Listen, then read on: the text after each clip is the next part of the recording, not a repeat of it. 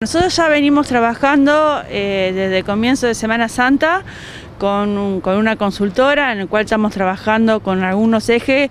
con un hashtag que es Respirar Necochea, teniendo en cuenta las fortalezas que tenemos como destino en todo lo que es producto de naturaleza.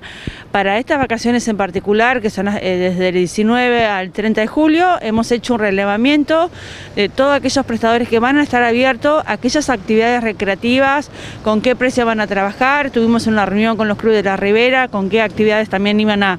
iban a ofrecer. Eh, desde la Dirección de Cultura, la Dirección de Deporte y la Secretaría de Turismo hemos armado actividades para los fines de semana, ya sea para la Plaza de Rocha, para la Plaza 3 de Agosto de Unquequén, como así también algunas actividades en la Ribera. Y después cada 15 días tenemos programado eh, todas las áreas del municipio, ir a los pueblos del interior, con actividades también ya sea recreativas, culturales, talleres de RSP, talleres productivos, talleres de pintura. Así que la idea es que todo el partido tenga actividades durante estas vacaciones. El marco natural es lo que predomina para captar la afluencia de visitantes en una temporada que mm, en toda la costa no es lo mismo a diferencia de lo que sucede en verano. Bueno, nosotros estamos haciendo hincapié en eso, ya lo vimos el fin de semana pasado, eh, fin de semana largo del 9 de julio, en el cual si uno hacía una recorrida tanto por el parque como por la ribera o por la zona de Quequene, eh, había mucha afluencia de gente tanto de necochenses como algunos visitantes,